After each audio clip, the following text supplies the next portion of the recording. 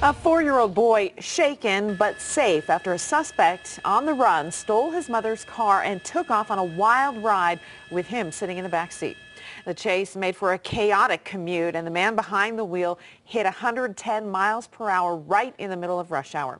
Thanks for joining us tonight. I'm Deborah Takahara. I'm Jeremy Hubbard. The whole thing started at a gas station in Longmont where the suspect hopped in the stolen car. We move fast here, so follow along. He then took off heading south on I-25 and then east on I-76 to E-470, finally crashing at the intersection of Lincoln and Peoria, jumped out of the car and took off on foot until police finally caught up with him. We have in-depth coverage of the wild ride tonight. Mark Meredith spoke with victims who were caught up in the chaos. Kent Erdahl explains how law enforcement worked together to keep people safe in situations like this. And we start with Fox 31 Denver's Justin Joseph. He's live in Douglas County with the details on how the whole dramatic drive ended. Justin?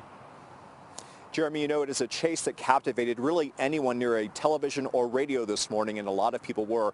It started about 50 miles north of here in Longmont with the kidnap of a child. The suspect led police on a chase throughout the metro area, a chase that ended right here in this intersection with one of several car wrecks. There was a four-year-old child in the vehicle. Flying. That's how four-year-old Alan Chevarria Rodriguez described his morning as he emerges from the Brighton Police Department still dressed in his pajamas. His mother at his side. Possible auto theft that just occurred. From this Longmont gas station, she called 911 when surveillance video caught this man stealing her car with her child inside. She left the vehicle running and came outside and the vehicle was gone. The brazen kidnap prompts an Amber Alert and soon Skyfox spots the stolen vehicle racing south along I-25, approaching speeds of over 100 miles per hour. Uh, the resolution, okay, that was a close one there with that white car. On live television, Skyfox guides police with the man first stopping to hijack a gold van along I-76 as its passengers fled. The chase continues south along E470, where the driver hits Colorado State Trooper Belman He trying to lay stop sticks. This individual was a very dangerous person. By now, police have identified the driver as Ryan Stone, a man with a dangerous criminal history. His van smoking, Stone finally exits Peoria where he slams into a white BMW. He then hits another driver and stops once again. He approaches the driver slowly, trying to trick her to come outside. When she doesn't, he yanks her from her car and takes off.